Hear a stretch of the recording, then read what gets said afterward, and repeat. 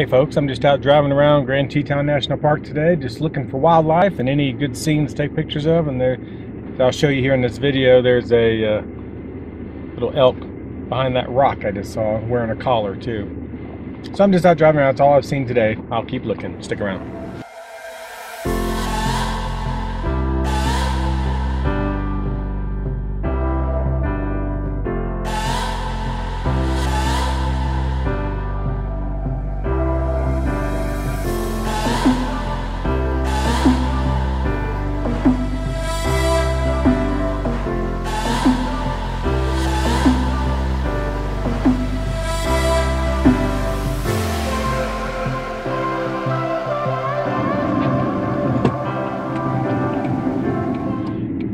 Driving down the road and coyote just crossed the road in front of me.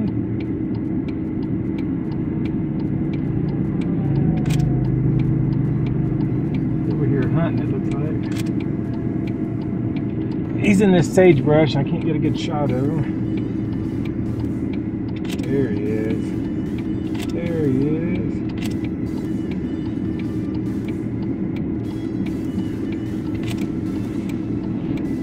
Walking my way. About 30 40 yards off the roadway.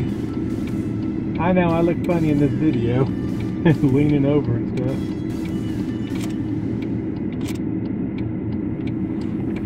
Yeah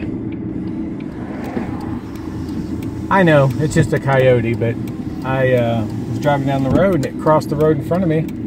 I almost hit it. Then it milled around in the sagebrush over here hunting guess it didn't find anything.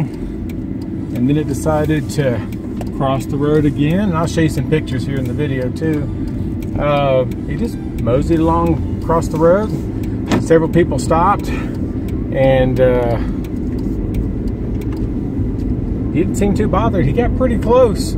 I was surprised, but uh, looks like it's getting rid of some of its winter coat.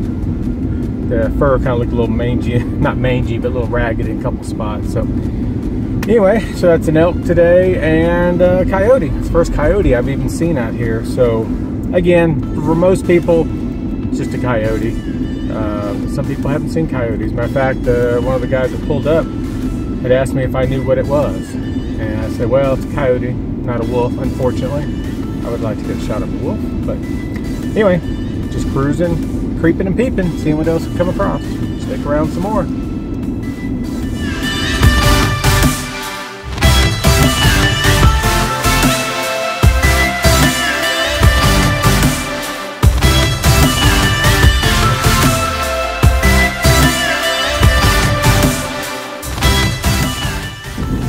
Well, folks, I hadn't had much luck today. I got the coyote and the elk, and uh, not a whole lot else I got today.